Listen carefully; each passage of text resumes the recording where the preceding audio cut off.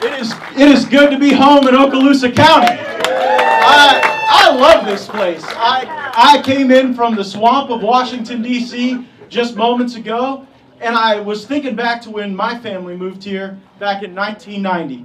Uh, we lived down in Miami, and mom and dad wanted to make sure that we got an upbringing where we had safe streets and great schools. We've got both of those things here in Northwest Florida. In Washington, D.C., I have sponsored legislation to abolish the federal Department of Education.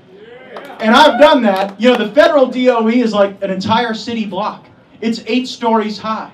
And there's no one in there that educates a child, supports a principal, or helps a teacher. Instead, they create more paperwork to justify the existence of more bureaucrats. And so if we believe that education is best done at the state and local level, then we've got to make sure as a community that we round up our very best to serve in these roles. Marcus Chambers is one of the best that we have. He is one of Okaloosa County's great sons, and I am honored to endorse him for Superintendent of Schools. Just in the last few days, our transformational governor, Ron DeSantis, announced that it would be a top priority in the state budget to find $600 million more to raise teachers' salaries and teach, teach, treat teachers like the professionals they are. I fully support that plan. Our governor believes that we're not going to build a stronger education from the head shed even from Tallahassee, we've got to start by investing in the teachers who build the great citizens and the great Americans that we're raising up here in our community.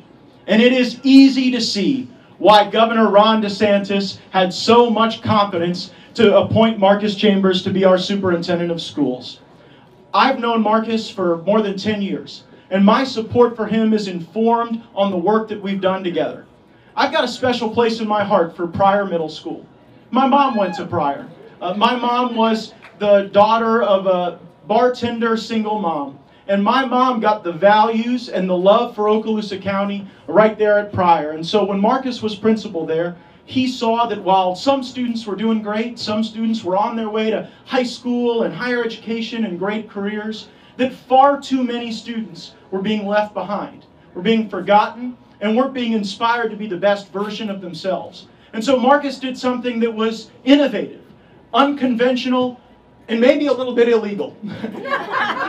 he brought in folks from law enforcement, from the business community, from the legal community, and we plucked the 30 students who we thought we were most at risk of losing to crime, gangs, or dropouts, and we put them in a specialized setting to give positive encouragement and good mentorship.